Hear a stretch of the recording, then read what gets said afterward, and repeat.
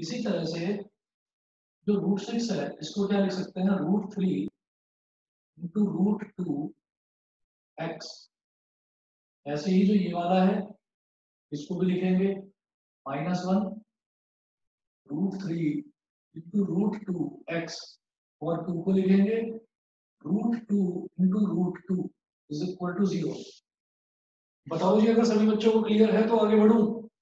Sir एक बार और बता दो। प्रांजल सर एक बार और बता दो। दोबारा से सुन लीजिए। हमने ये कहा ये थ्री एक्स स्क्वायर को मैंने लिख दिया root three into root three x square और minus one root six x इसको लिख दिया minus one root three into root two into x वही root three into root two root six हो जाएगा।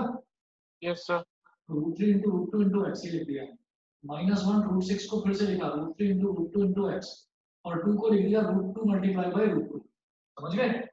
यस सर अब जरा देखिएगा, ये जो पहली दो टर्म्स है, इनमें से क्या कॉमन ले सकता हूँ? रूट थ्री दोनों में आ रहा है एक्स दोनों में आ रहा है तो रूट थ्री एक्स निकालो। रूट थ्री एक्स ब्रैकेट में यहाँ पर बचेगा रूट थ्री एक्स यही तो बचा है यहाँ पर ब्रैकेट में, पहली टर्म और रूट थ्री एक्स निकालिए यहाँ पर क्या बचेगा? Minus of under root two ठीक है? अब इन दोनों में बताइए क्या कॉमन लें इन दोनों में रूट टू ही आ रहा है माइनस रूट टू लेंगे कॉमन ताकि पहला टर्म प्लस का आए तो root three x minus root two is equal to zero बताइए जी ठीक है? सर इसके दोनों फैक्टर तो जैसे आएँगे सर। क्या? इसके दोनों फैक्टर्स तो सेम ही आएँगे। हाँ कोई बात नहीं सेम आ जाने को क्या हो गया? सर लेकिन वो एक काउंट नहीं होगा। क्या? वो एक काउंट नहीं होगा। नहीं दोनों काउंट होते हैं।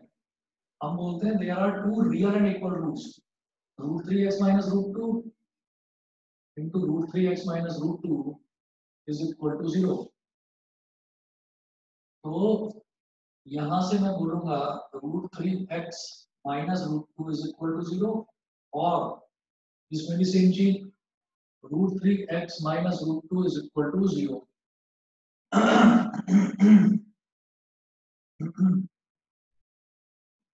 root three x is equal to root two और यहाँ पर भी root three x is equal to root two तो x की वैल्यू यहाँ से आ गई root two upon root three और यहाँ से भी x की वैल्यू आ गई root two upon root three अच्छा। दिखाई नहीं दे रहा है मैं ऊपर लिख देता हूँ। सर एक चीज़ बता दो। सर। हाँ? सर जो आपने कॉमन निकाला है ना रूट टू तो हाँ। वो माइनस में क्यों है? अभी बता रहा हूँ।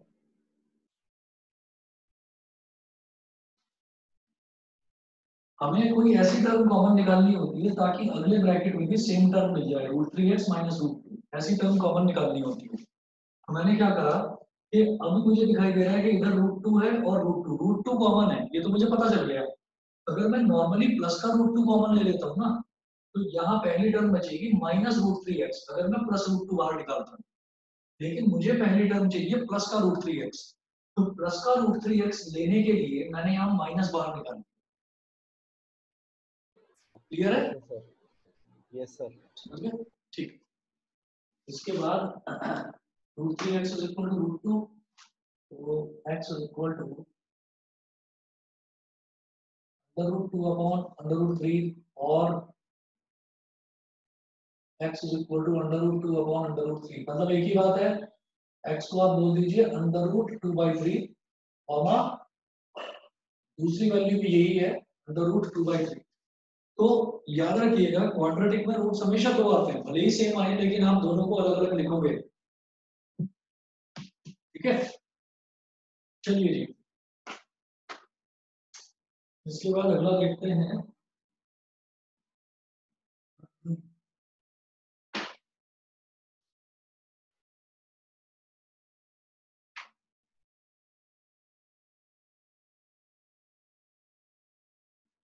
देखिएगा।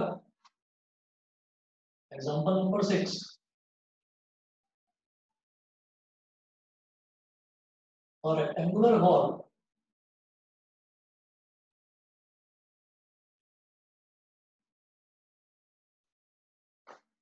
has the following rectangular hole has the following dimensions as shown.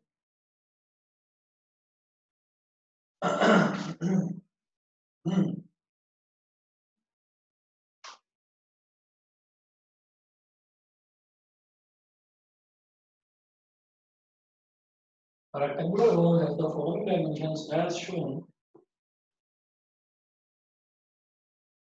ये हो गया टू एक्स प्लस वन ये हो गया एक्स और एरिया मैंने ले लिया 300 मीटर स्क्वायर ठीक है x two x plus one और एरिया ले लिया 300 मीटर स्क्वायर तो देखिएगा, और उन्होंने पूछा क्या है? कि find the dimensions of the hole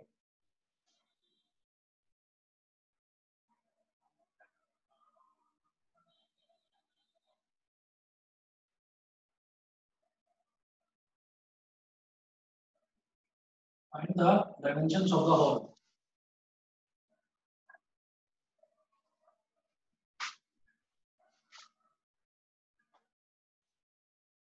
अब आप खुद बताइए जैसे रेक्टेंगल है तो रेक्टेंगल में क्या होता है लेंथ इनटू ब्रेथ होता है ना उसका एरिया और area three hundred metre square length दे रखी है टू एक्स प्लस वन और ब्रेथ दे रखी है एक्स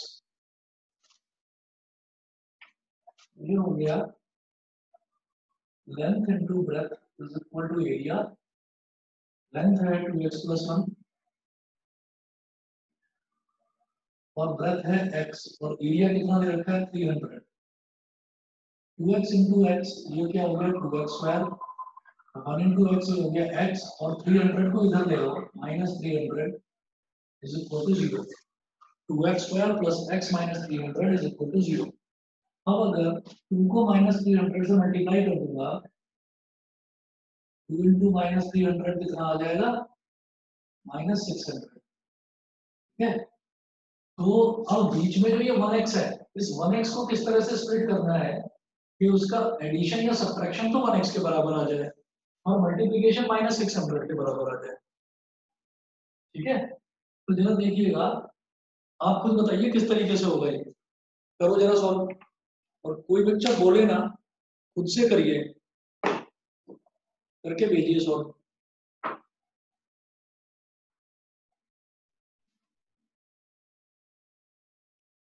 सर ये सबसे राइट वाला। आप करिए। सर स्क्रीन चली गई आपकी। अभी आ जाएगी रुको।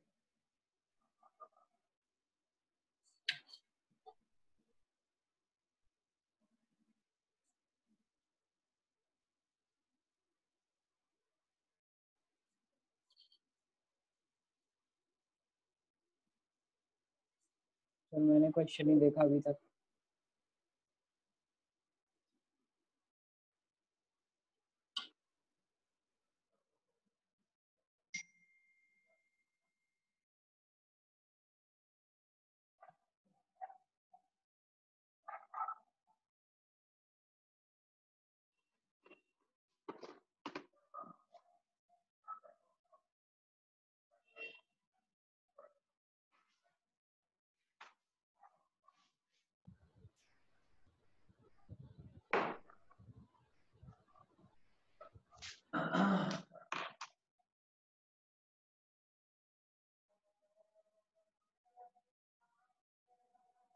बताओ जी क्या फैक्टर्स आएँगे? किसी बच्चे का हुआ? सर ट्वेंटी फाइव और ट्वेंटी फोर 25 और 24 बिल्कुल सही। आप देखिएगा अगर मान लीजिए ये 24 है और इधर 25 है मल्टीप्लाई करके देखो 25 फोर जा 100 10 कैरी 25 टू जा 10 25 टू जा 50 50 और 10 हो गया 60 ये आ गया 600 तो यहाँ लिखेंगे 2x square plus 25x minus 24x minus three hundred is equal to zero समझ गए? अब इन दोनों में क्या कॉमन आ सकता है? सिर्फ़ एक्स आ रहा है कॉमन एक्स ले लिया कॉमन तो क्या बचेगा?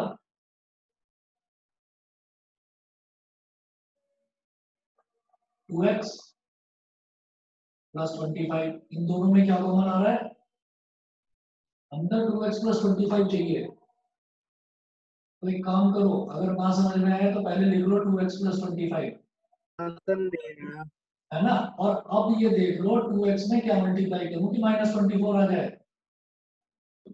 माइनस का ट्वेल्व तो minus twelve into two minus twenty four x हो गया। ये हो गया two x plus twenty five by x minus twelve is equal to zero तो two x plus twenty five is equal to और x is equal to twelve एक तो ये हो गया। x माइनस ट्वेल्व को ज़ीरो रख दिया तो। और यहाँ से क्या आ गया? x की value minus twenty five upon two आ गई। ठीक है? x की value minus twenty five upon two आ गई और x की वैल्यू ट्वेल्व आ गई। सर समझ नहीं आया सर ये ट्वेंटी फाइव और ट्वेंटी फोर भाई ट्वेंटी फाइव और ट्वेंटी फोर का multiplication two into three hundred two into three hundred twenty five और ट्वेंटी फोर का मल्टीप्लीकेशन किसके बराबर है? छह सौ के बराबर? और twenty five x minus twenty four x plus one x हो जाएगा। अब अच्छा इसमें क्या समझ में नहीं आ रहा था? ओके सर ठीक है? तो x की वैल्यू होगी minus twenty five by two और x जो है वो इसकी ब्रेथ दे रखी है। ब्रेथ कभी नेगेटिव तो हो नहीं सकती। ब्रेथ कभी नेगेटिव तो हो नहीं सकती। तो अब आप ये देख लीजिएगा कि ये minus twenty five by two नहीं होगा। हम कहेंगे x is equal to twelve ये तो हो गई ब्रेथ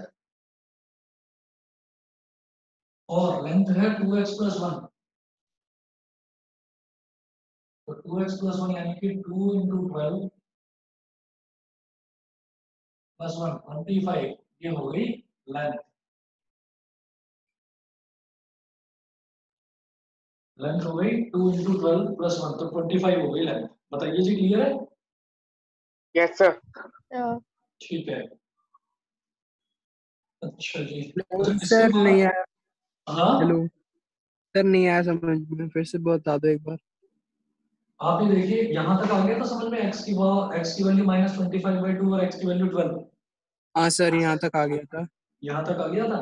तो अब हाँ। आप देखिएगा कि मैंने ये कहा कि x की value minus twenty five by two नहीं हो सकती क्योंकि x क्या है? x इसकी ब्रेथ है। तो लेंथ हो या ब्रेथ हो वो कभी भी नेगेटिव नहीं हो सकती। ठीक है? वो कभी भी नेगेटिव नहीं हो सकती। हाँ। हमने कहा कि फिर x की वैल्यू ट्वेल्व ही होगी। ये वाला ठीक है। x की वैल्यू ट्वेल्व वाला ठीक है। तो x की वैल्यू ट्वेल्व हो गई तो लेंथ कितना होगा? Two x plus one length हो गया टू एक्स प्लस वन तो two into twelve plus one यानी कि ट्वेंटी फाइव हो गई. समझ गए? मतलब सर हमने जो लेंथ की वैल्यू थी वो इन कर दी कर दी। क्या? सर जो जो लेंथ की वैल्यू थी टू एक्स प्लस वन वो हमने पुट कर दी इसमें हाँ बस वही तो रखा है ऊपर। भाई डायमेंशन पूछिए ना उन्होंने तो डायमेंशन एक तो x है और एक क्या टू एक्स प्लस वन तो ब्रेथ तो हो गई x और length हाँ, आ गया सर समझ में आ गया। हाँ। ठीक है। अब इसके बाद मैं पेयर ऑफ़ लीनियर इक्वेशन के दो क्वेश्चन करा रहा हूँ इसने नव्या ने पूछे हैं। मैं यहीं पर लिख रहा हूँ आप लोग देख लीजिएगा। हाँ? Sir but twenty five upon two twenty five two नहीं लेंगे ना बेटा नेगेटिव है ना लेंथ कभी नेगेटिव नहीं होती। ओके हाँ तो उसको हमने छोड़ दिया। इसीलिए मैंने क्रॉस लगा रखा है माइनस ट्वेंटी फाइव टू पर ठीक है?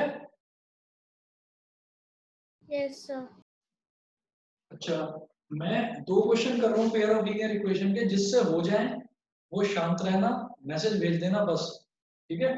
और जिससे ना हो वो इधर देखता रहे।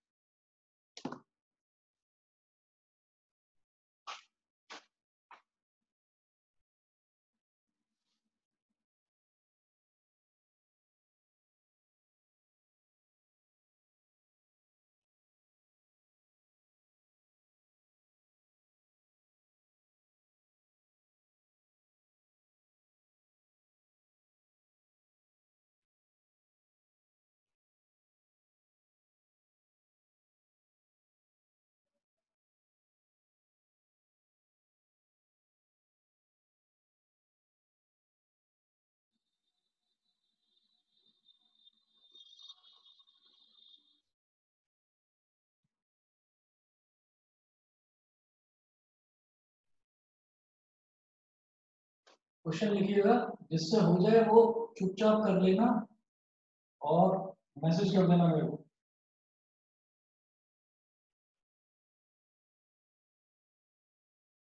क्वेश्चन है of the perimeter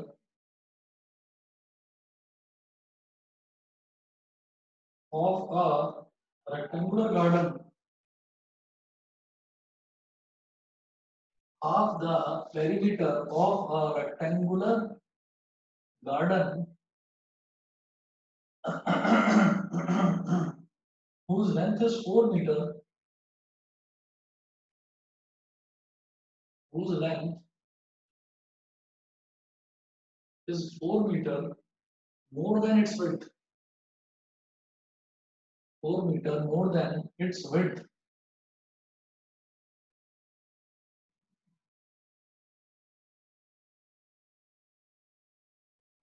Is 36 meter.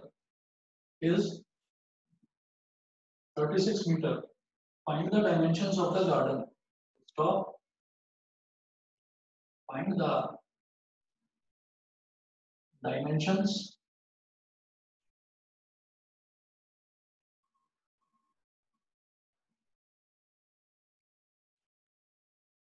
hmm. Find the dimensions of the garden. Half the perimeter of a rectangular garden. एक rectangular garden दे रखा है मैंने क्या करा? इसकी लेंथ को x मान लिया, इसकी ब्रेथ को y मान लिया। तो गिवन है half the perimeter of a rectangular garden यानी कि हाफ़ और पेरीमीटर क्या होता है? Two into L plus B यानी कि two into x plus y तो half the perimeter of a rectangular garden whose length is 4 meter more than its width is 36 meter 36 meter यहाँ पर 2 से 2 कट गया x plus y is equal to 36 ये आ गई इक्वेशन नंबर वन है? और इसके बाद मैं इधर कर रहा हूँ। अभी तो मैंने बस यही कंडीशन लिखी है। साथ में इन्होंने एक और कंडीशन भी दे रखी है। दूसरी कंडीशन क्या है? कि whose length is 4 meter more मतलब इसकी जो लेंथ है, x, वो ब्रेथ के कंपैरिजन में 4 मीटर ज़्यादा है। Even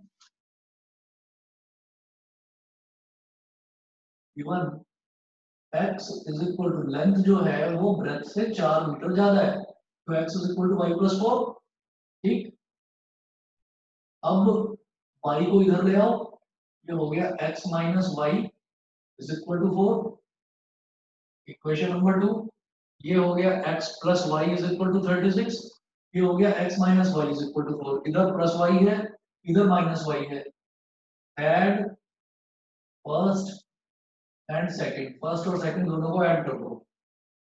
तो ये हो गया x plus y is equal to 36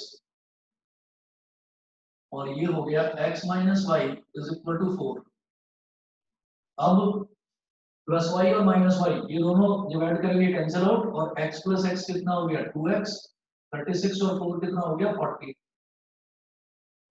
तो 2 20 are, x is equal to 20 ये हो गया x की वैल्यू हो गई 20 इसके बाद क्या करना है? किसी भी इक्वेशन में डाल। दो put this value in equation 2 put the value sir in equation second या one. सेकंड में डाल दो फ़र्स्ट में डाल दो। Put this value in first में डाल दो। फ़र्स्ट क्या है? X plus y is equal to 36 x plus y is equal to 36 x की वैल्यू क्या आई है? 20 20 plus y is equal to 36 y कितना हो गया? 36 minus 20 y की वैल्यू आ गई 16 x की वैल्यू 20 y की वैल्यू 16 बताइए जी क्लियर है? नव्या क्लियर है? Yes, sir. ठीक है। इसके बाद एक और क्वेश्चन देखेंगे अभी। एक्सक्यूज मी सर हाँ जी। सर हम इसको एक वेरिएबल से भी कर सकते हैं ना? हाँ वन वेरिएबल से भी कर सकते हो। हम ये मान सकते हैं शुरुआत में ही कि जो उसकी whose length is 4 metre more than it its width. Four plus width five. को हाँ y मान लिया और वो जो लेंथ है वो 4 प्लस y हो गया। तो वन वेरिएबल से भी हो सकता है।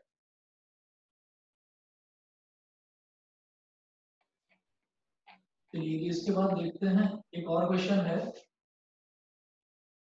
एनसीईआरटी करेंगे।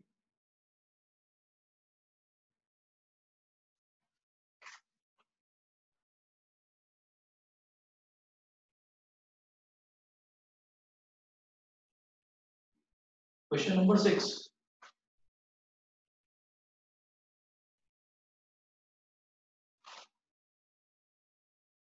question number six में है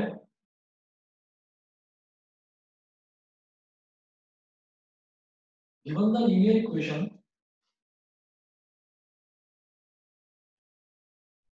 given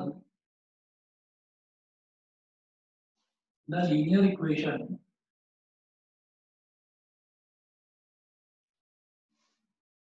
two x plus three y minus eight is equal to zero. Two x plus three y minus eight is equal to zero, comma. Write another linear equation in two variables.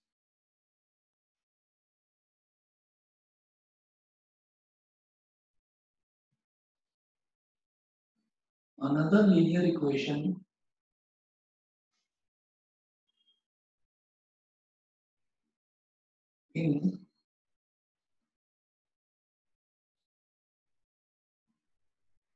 two variables such that the geometrical representation of the pair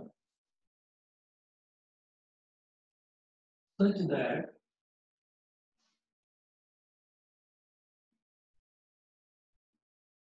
the geometrical representation of the pair so formed of the pair so formed is first part है intersecting lines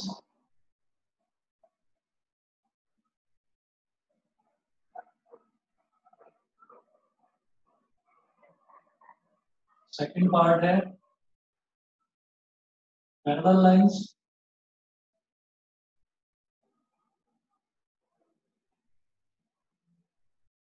और third part है coincident lines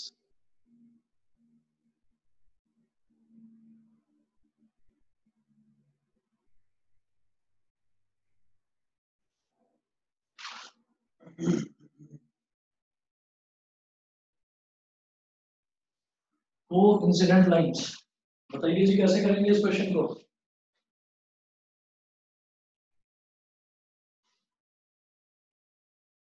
देखो जी intersecting lines का मतलब क्या है?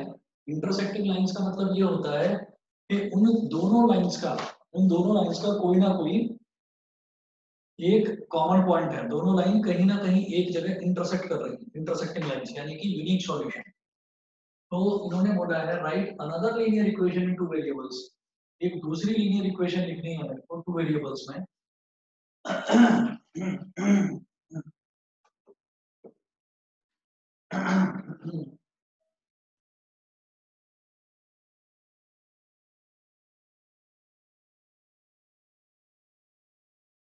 First में लिखिएगा for the lines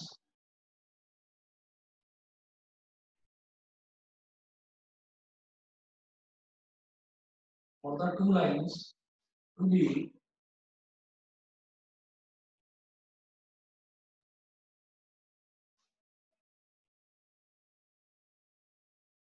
for the two lines to be intersecting ये होता है ना a1x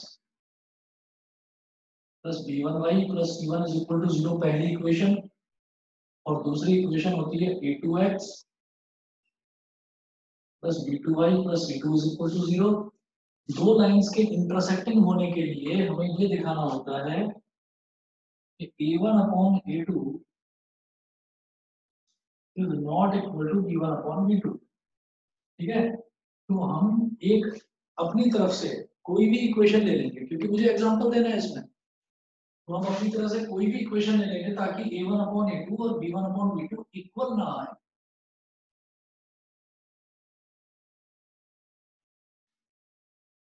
तो देखिएगा फ़र्स्ट इक्वेशन ये है two x plus three y minus eight ठीक? तो लिखिए यहाँ पर first equation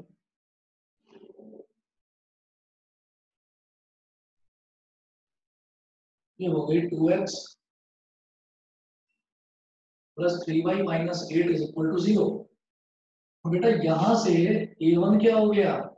two b one क्या हो गया? थ्री और सी वन क्या हो गया? माइनस एट ये हो गया? Let the second equation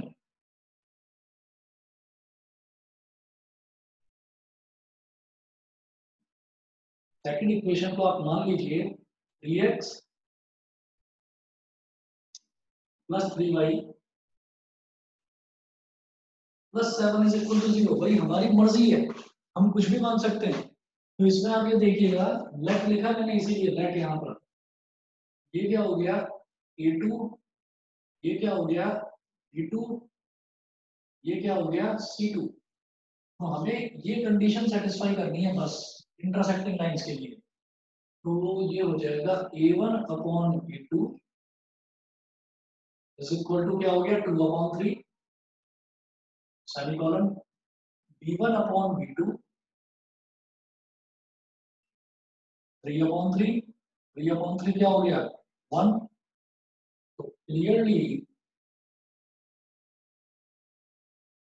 a1 upon b2 is not equal to b1 upon b2 so the lines are intersecting. समझ में आ गया?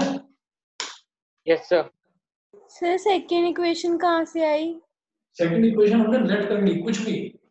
इसमें उन्होंने बोला ही ये है कि right another linear equation in two variables such that the geometrical representation of the pairs sir मतलब कि जो पेयर बनेगा दो लीनियर इक्वेशन का वो इंटरसेक्टिंग लाइंस होनी चाहिए। इंटरसेक्टिंग लाइंस यानी कि यूनिक सॉल्यूशन यूनिक सॉल्यूशन मतलब a1 upon a2 should not be equal to b1 upon b2 तो दूसरी इक्वेशन मुझे खुद से सजेस्ट करनी है। मुझे कुछ कैलकुलेट नहीं करना है इसमें। मुझे खुद से ऐसी सजेस्ट करनी है सर a1 अपॉन a2 और b1 अपॉन b2 दोनों इक्वल ना हो। मैंने अपनी तरफ़ से ये दूसरी इक्वेशन ले ली। सर यहाँ फोर भी ले सकते हैं फोर एक्स प्लस कुछ भी लो कुछ भी लो। सर इसका कोई आंसर नहीं होगा। इसका कोई फिक्स आंसर नहीं होगा। बताइए जी समझ में आ गया? नब्बे क्लियर है? यस सर ठीक है जी अब इसका सेकंड पार्ट देखते हैं। सर इसके मतलब वेरिंग आंसर्स हो सकते हैं। हाँ? सर इसके आंसर्स डिफरेंट हो सकते हैं। आंसर्स डिफरेंट हो सकते हैं वेरी करेंगे कोई प्रॉब्लम नहीं है इसमें। बस आपको कंडीशन सेटिस्फाई करनी है और कुछ नहीं। ओके सर ठीक है? अब इसके बाद है हमारा सेकंड वाला पैरेलल लाइंस तो पैरेलल लाइंस में क्या होता है? यहाँ लिखा हुआ क्योंकि यहाँ तो मुझे सजेस्ट करना है बताना है एग्ज़ाम्पल लेना है। भाई सभी बच्चे समझ रहे हैं ना इस तरीके का क्वेश्चन भी आ सकता है जिसमें हमसे पूछा जाए कि आप कुछ सजेस्ट करिए कि क्या इक्वेशन हो सकती है तो खुद ही बनाकर बतानी होगी इक्वेशन समझ गए? ठीक है जी सेकंड पार्ट देखिए parallel lines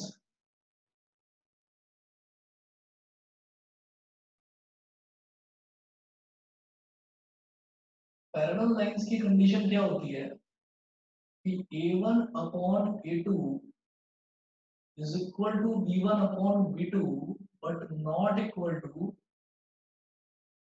c1 upon c2 समझ गए? Yes, sir. हाँ ये होती है पैरेलल लाइंस की कंडीशन अच्छा तो जरा देखिएगा। फ़र्स्ट इक्वेशन तो दे ही रखी है। फ़र्स्ट इक्वेशन हमारे पास है two x plus three y minus eight is equal to zero two x plus three y minus eight is equal to zero तो ये टू क्या हो गया? ए वन बी क्या हो गया? बी वन और माइनस एट क्या हो गया? C one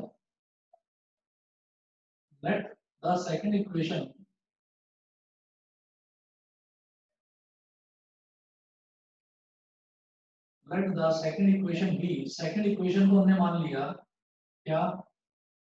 V1 upon a2 और v1 upon v2 इक्वल होना चाहिए। मैंने मान लिया 4x plus 6y 4x plus 6y minus 10 is equal to zero ठीक है? 4x प्लस 6y जानबूझकर माना है। अभी समझ में आ जाएगा क्या? यदि ये है a2 ये है बी टू और ये है सी टू तो आप कैलकुलेट करिए a one upon a two two upon four one जा टू टू जा वैल्यू आ गई वन अपॉन टू फिर कैलकुलेट करो b one upon b two three upon six one जा थ्री थ्री टू जा सिक्स ये भी आ गया वन अपॉन टू फिर निकालिए c one upon c two इधर कर रहा हूँ बीच में सर तो इक्वेशन सेटिस्फाई करने के लिए करते हैं हम? बस इक्वेशन सेटिस्फाई करने के लिए कंडीशन सेटिस्फाई करने के लिए। ओके आपका कुछ और मन करे कुछ और इक्वेशन ले सकते हो। मैंने जानबूझकर यहाँ पर फोर और सिक्स लिया ताकि टू अपॉन फोर आ जाए one upon two three upon six आ जाए वन अपॉन टू ये दोनों बराबर आ जाए। आप कुछ और भी ले सकते थे। आप ले सकते थे यहाँ पर ट्वेल्व ले सकते थे। तो two six twelve one upon six आ जाता। और यहाँ पर 18 ले सकते थे। थ्री सिक्स एटीन तो यहाँ पर भी वन अपॉन सिक्स आ जाता तो a one upon a two और b one upon b two तो इक्वल आना चाहिए। C one upon c two equal नहीं आना चाहिए। तो c one upon c two क्या है? Minus eight upon minus ten minus से माइनस कर दिया। टू फोर जा टेन एट टू फाइव जा ten four upon five clearly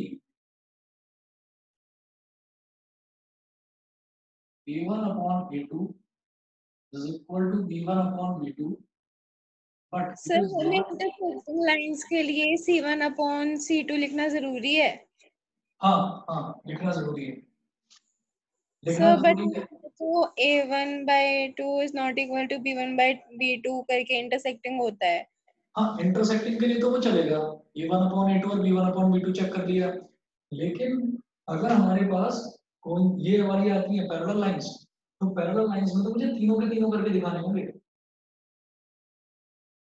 ठीक है? और ऐसा क्यों है ये मैं अभी आपको बता रहा हूँ थर्ड पार्ट से क्लियर हो जाएगा। थर्ड पार्ट है coincident lines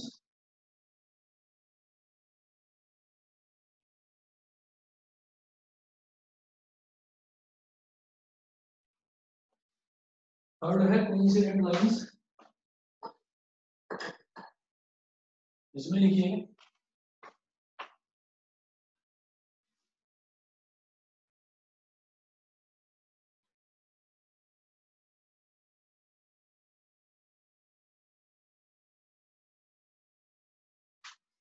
For two lines to be coincident for two lines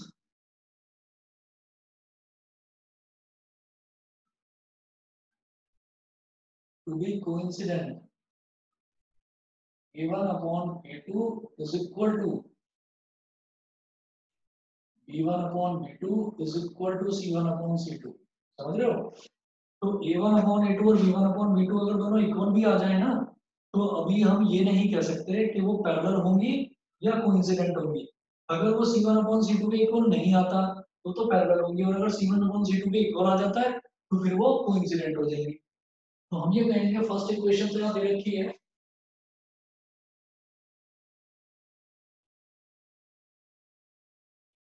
first equation है 2x plus 3y minus 8 is equal to 0 तो 2 कितना हो गया? A1 3 कितना हो गया? B1 और माइनस एट कितना हो गया? सी वन और सेकेंड इक्वेशन को आप लेट कर लीजिए। बेटा करा किसी बच्चे ने? यस ठीक है जी अभी देखता हूँ जैसे ये है 4x इसको बोल दो 6y और इसको बोल दो minus sixteen is equal to zero अब देख लीजिए ये हो गया मेरे पास ए टू ये हो गया बी टू और ये हो गया सी टू तो A one upon A two is equal to two upon four two one जा टू टू ये हो गया वन अपॉन टू फिर देखिए B one upon B two ऊपर कर रहा हूँ यहाँ। B one upon B two is equal to three upon six ये भी आ गया वन अपॉन टू और तीसरा इधर कर रहा हूँ C one upon C two C one upon C two is equal to minus eight upon minus sixteen minus से माइनस कर दिया एट वन जा एट टू जा ये भी आ गया वन अपॉन टू तो पहले केस का आपको समझ में आ गया दूसरे केस में मैंने इक्वेशन मान ली four x plus six y minus ten is equal to zero और तीसरे केस में मैंने इक्वेशन मान ली four x plus six y minus sixteen is equal to zero मुझे लगता है समझ में आ गया होगा? Yes, sir. Yes, चलिए जी ठीक है। Yes. आज इतना ही कर लीजिए क्वाड्रेटिक में थोड़ा सा और डिटेल में कल करा के फिर आपको कुछ होमवर्क दूँगा। आज के लिए कोई होमवर्क नहीं सर हाँ जी, बताइए। सर। बताओ बताओ अनुभव बताओ। सर मेरे को सर क्या? मेरे को सर लिंक भेजना पॉइंट समझ में नहीं आए थे। हाँ मैं भेज दूँगा अभी वीडियो भेज दूँगा। सर मैं एक बार फिर से पूरी ऐसे वीडियो देखूँगा अभी। मैं भेज दूँगा बेटा भेज दूँगा। Thank you, sir. Okay, okay, ji. Okay. Bye, sir. Thank you, sir. Okay. Namaste, sir. Namaste, namaste.